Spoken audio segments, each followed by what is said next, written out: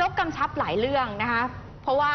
ล่าสุดนี้นายกกำลังจะบินไปประชุม G20 ที่ประเทศจีน ค่ะ ก็บินไปแล้วเมื่อเช้าค่ะวันนี้นั่นแหละค่ะ แล้วก็ไม่ได้ให้สัมภาษณ์กับสื่อมวลชนกันด้วยนะคะ เพียงแค่บอกมือทักทายเท่านั้น คือที่ไปประชุม G20 เนี่ยเขาจัดขึ้นที่จีน อืม2 วัน 4 กันยายนถึง 5 กันยายน ค่ะ ประเด็นหลักๆก็น่าจะเป็นเรื่องของเศรษฐกิจเนี่ยแหละ ค่ะไปหารือหลายประเด็นเลยนะคะ แล้วก็จะไปพบปะกับบรรดาผู้นำโลกด้วยค่ะ ตามกำหนดการนายกออกเดินทางไปตั้งแต่6โมงครึ่งค่ะ จากกองบิน 6 ที่ท่าอากาศยานดอนเมืองนะคะ การประชุมครั้งนี้ี้ค่ะจัดขึ้นที่ประเทศจีนนะคะ เป็นครั้งแรกด้วย นายกก็จะได้มีโอกาสไปพบปะกับบรรดาผู้นำโลกค่ะ หลายประเทศคงจะหารือกันในประเด็นสำคัญต่างๆ โดยเฉพาะประเด็นด้านเศรษฐกิจนะคะเพราะว่าตอนนี้เศรษฐกิจทั่วโลกกำลังอยู่ในช่วงขาลง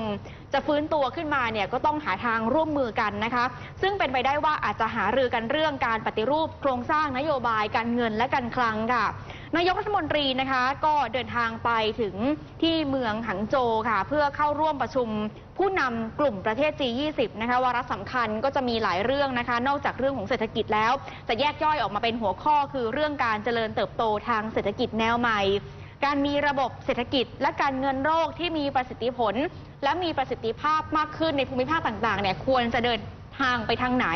การค้าและการลงทุนระหว่างประเทศ รวมถึงการพัฒนาที่ครอบคลุม และเชื่อมโยงระหว่างกันด้วยค่ะ ค่ะที่ออกเดินทางไปปฏิบัติภารกิจในครั้งนี้นะคะ ก็เริ่มตั้งแต่ช่วงเช้าเลยนะคะ ที่ออกเดินทางพร้อมกันกับคณะ นะคะ จากท่าอากาศยานทหาร 2 กองบินหงดอนเมือง ไปที่ท่าอากาศยานนานาชาติ เซียวซานนครหางโจวมณฑลเจ้อเจียงที่ประเทศจีนค่ะ ก็จะเข้าร่วมการประชุม ทีนี้ภารกิจสำคัญของนายกรัฐมนตรีก็คือการแสดงวิสัยทัศน์ โดยหยิบยกประเด็นเรื่องการส่งเสริมความเป็นหุ้นส่วนระดับโลก เพื่อกระตุ้นแนวทางการพัฒนาใหม่ แล้วก็เน้นย้ำถึงการมีส่วนร่วมของประเทศกำลังพัฒนา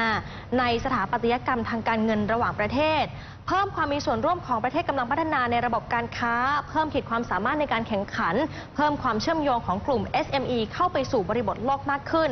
ที่สำคัญก็คือยังคงยึดหลักปรัชญาเศรษฐกิจพอเพียงเป็นพื้นฐานนะคะ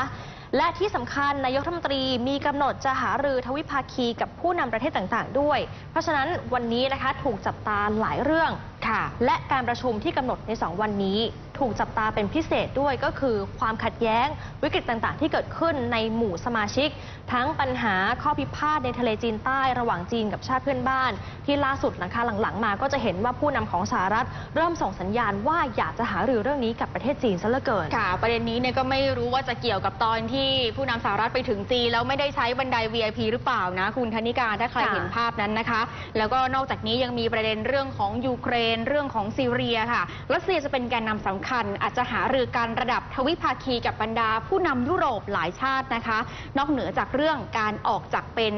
สมาชิกของ EU ที่อังกฤษได้ประกาศตัวชัดเจนแล้วค่ะค่ะ